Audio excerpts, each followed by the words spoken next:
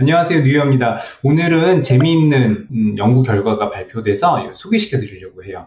전기 자극으로 탈모를 치료한다 이런 개념으로 연구를 했는데 효과가 있는 것으로 이제 연구 결과가 나와서 미국 위스콘신 대하고요 중국의 청두 공립전자과학기술대 그리고 삼천대 이제 공동 연구팀이 전기 자극을 통해서 탈모 치료 효과를 얻을 수 있다는 연구 논문을 발표했어요. 몸의 움직임으로 전기 에너지를 발생시키는 앞전 장치를 이용해서 신체 자극 없이 모낭을 자극하는 장치를 이용했습니다. 탈모 증상이 나타나도록 이제 유전자를 변형시킨 쥐들을 이용했는데 7주 동안 하루에 12분에서 30분 정도 이제 저전류 치료를 한 결과 먹는 탈모약 치료 효과와 비슷한 결과를 보였대요. 전기 자극을 준 실험군의 털의 밀도가 높고 길이도 더 길었습니다. 전기 자극을 주면 이제 VEGF, Vascular Endothelial Growth Factor 그리고 케라틴 성장인자 Keratinocyte Growth Factor 같은 성장 인자의 분비가 촉진되는 것이 또 발견됐어요. 오래된 탈모에서는 효과가 없고요. 초기 탈모에서 효과가 있었습니다. 사람에서 실험한 결과는 없지만 찌릿찌릿한 게 아니라 몸 안쪽에서 있는 전기를 이용해서 자극을 가하니까 아마 바깥쪽에서 뭐 느껴지는 자극은 없겠죠. 그러니까 부담도 안 갈 거고 그래서 기대해 볼 만한 방법이라는 생각이 좀 듭니다. 기존 탈모약을 대체할 수 있을 정도의 효과가 있을지 여부가 일단 제일 중요한데